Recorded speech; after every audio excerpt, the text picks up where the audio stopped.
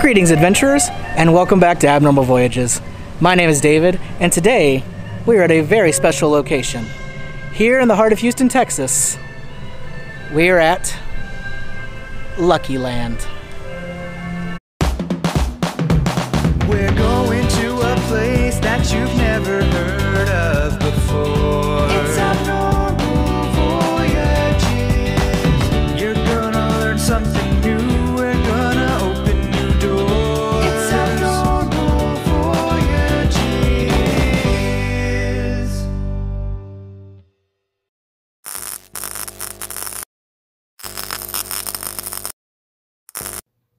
Opened in 2017, Lucky Land is a complete celebration of Chinese culture.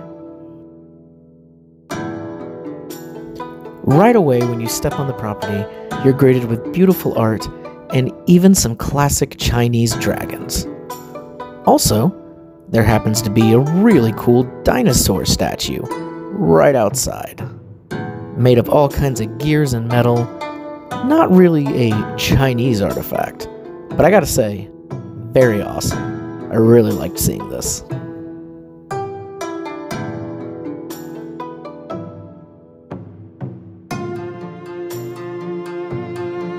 On the opposite side, bright, colorful, classic style umbrellas line the path that leads you up to the front entrance of Lucky Land.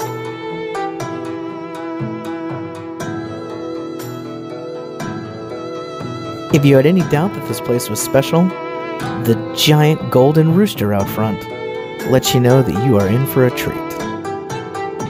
Finally, you reach the massive and beautifully crafted front entrance gates of Lucky Land.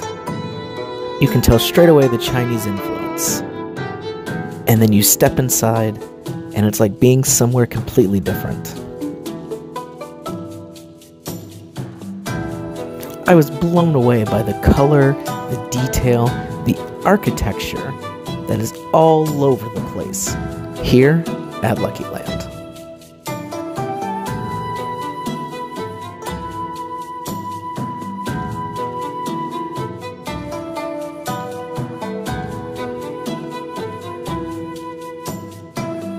There's a lot of amazing things to see here in Lucky Land, but one of my personal favorites is Panda Village.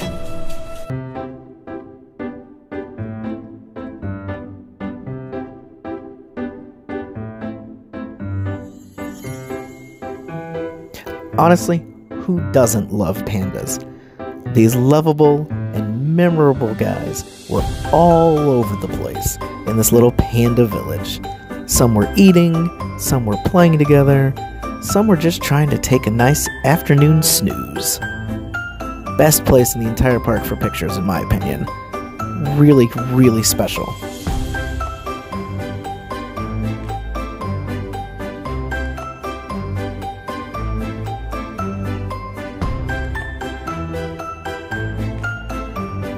If it was really hot outside, you could even duck into this alcove here where they had some benches set up just to get out of the sun for a little while.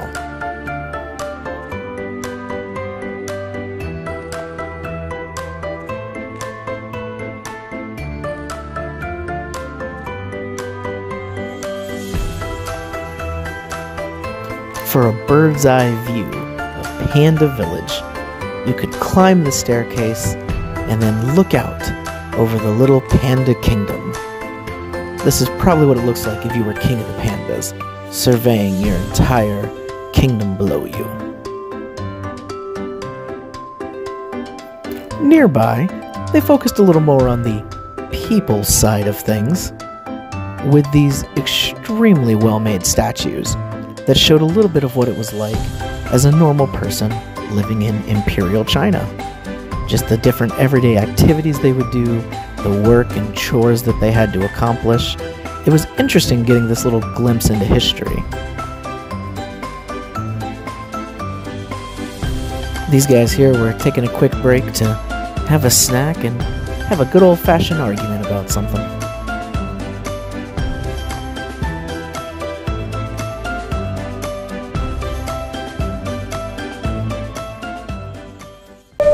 We've now reached a monument to Kung Fu.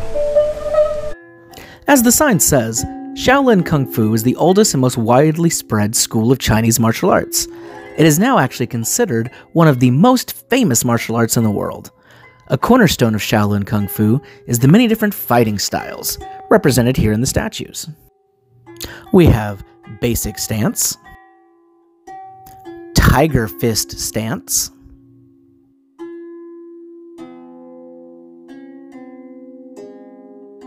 single long lance stance,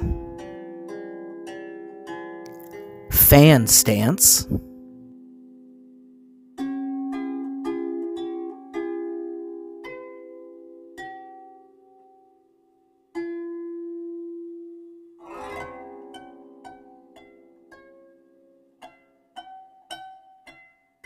sidekick stance, fist stance,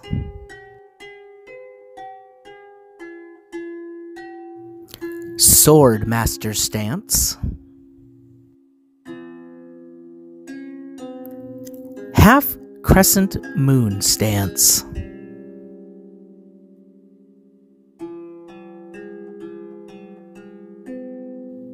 The punch drunk stance.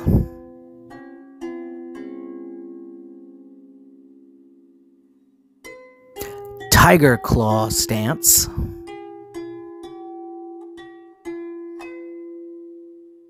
Swan stance.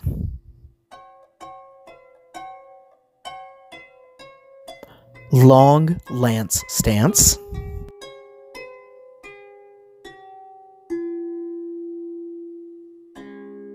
the Wu Zu Punch stance, Grasshopper stance,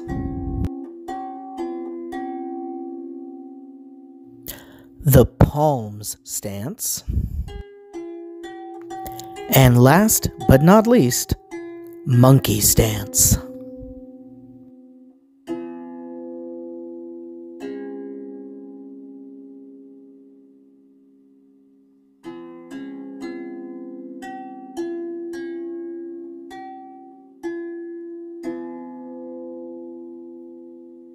The atmosphere here is just very, very unique. You certainly don't feel like you're in Texas anymore. This feels like a little slice of China cut off and thrown right in the middle of the United States. It's very interesting. Got my peacock friends here. Let's keep exploring.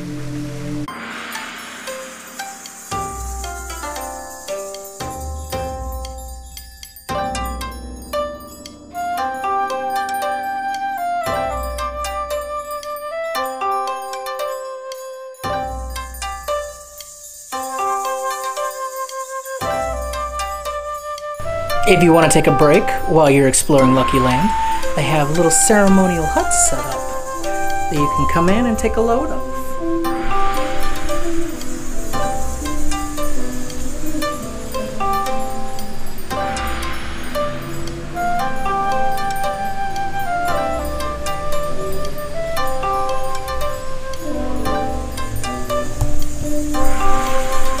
But for now, let's get back to exploring. We wander a little further down the path, and we find the Happy Buddha's Garden. As you may have guessed by the title, inside there are a whole bunch of statues of happy Buddhas. Look how happy they are. Got those smiling faces on, those big bellies out for everyone to see. Look at all the happy Buddhas. I don't think I've actually ever seen Buddha statues like the white ones here that all look a little more realistic. I really like the bigger, standing, laughing Buddhas. But this was a very interesting little corner of the park. Nearby to the Happy Buddha Garden is Lucky Village, which was possibly one of the cooler things that I've ever seen. It is these miniature buildings that are built just like the old Chinese ones and all little figures put outside. It actually reminded me a lot of Tiny Town that we saw back in Hot Springs, Arkansas last year. Uh, definitely check out that episode if you like miniatures. That place is fascinating. But, anyways, this was really cool in all the details. You can tell that the work that went into this very, very meticulous. Each little detail was correct. There was little knobs on all the doors. There were people that were standing there that were accurate to the building that they'd be going into. Uh, I almost wish that I was here at night because it wouldn't surprise me if each of these little lanterns lit up to really make it even that more wonderful.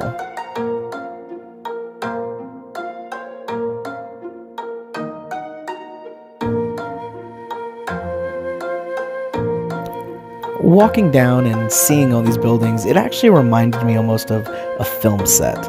I felt like at any minute there was going to be cameras rolling and there was going to be just a whole little story taking place in front of me. That's how great these looked. Like something had just jumped out of the past and was right here in front of me to look at.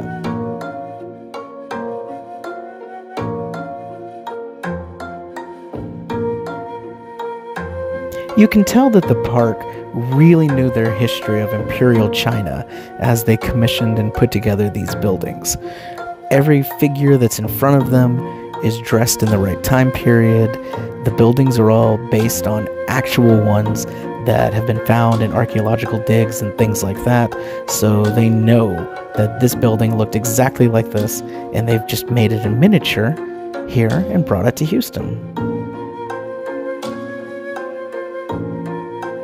As you moved on, the buildings got grander and the amount of people outside, the soldiers. So I believe it was moving further into palaces and things where royalty actually stayed, the emperor, things like that. So that was really cool seeing the contrast of, I, I guess, kind of the beginnings of it where regular people would be living and then going all the way up to these really grandiose kind of complexes where they had soldiers, they had villagers, they had people all outside. And see this one here. They even have a little area where they could carry the emperor in. And all the people standing outside. This thing was massive. And honestly, it wouldn't surprise me to find out that the materials used for it were the same ones that were used to make the original buildings back in the older days. They even have these statues here to represent statues that were actually built outside of it. I like that they were made differently than the people ones, so it was easy to differentiate between them of what was a statue and what was a person statue, I guess. but these were amazing. I could have stayed here for hours just taking in all the details. Speaking of emperors, there was a monument here to the very first emperor of China.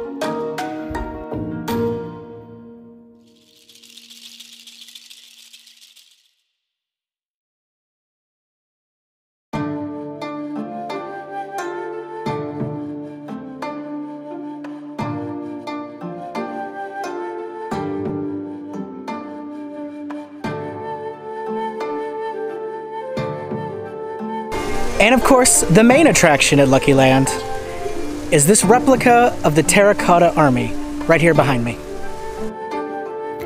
The original Terracotta Army was found in the burial location of the first Qin Emperor. The original army dated back to around the late 3rd century BC, and they were discovered in 1974.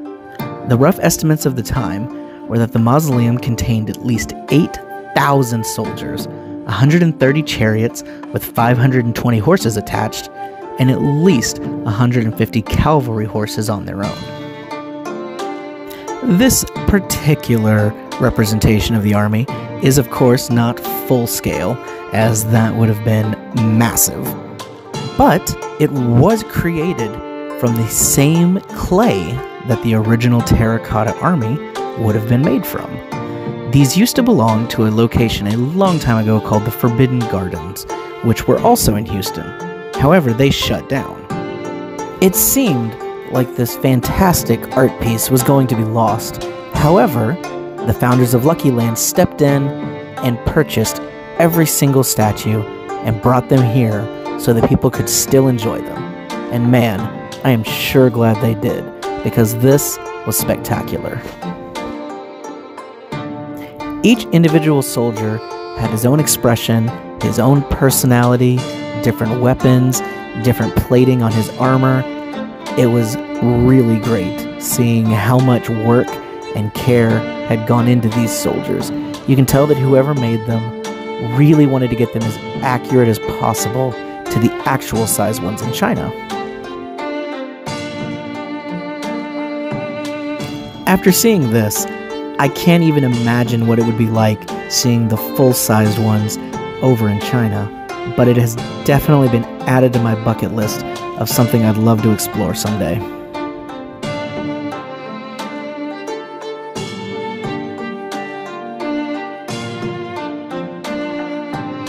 And of course, a statue of the Emperor himself sits looking over and leading his army. Just for a scale, this guy next to me is the size of how big the actual terracotta soldiers in China really are. You can't mention China without talking about the Great Wall of China, so they had a little piece of it duplicated here. Here's a little shrine dedicated to bumblebees. I think it's pretty cool.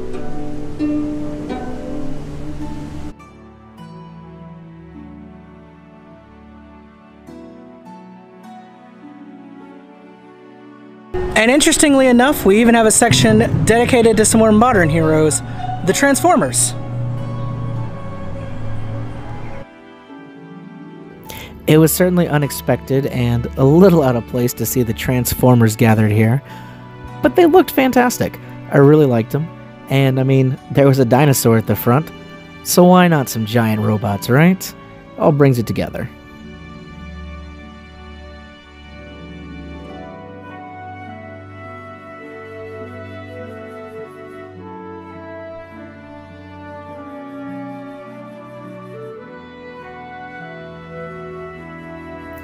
Optimus Prime is here.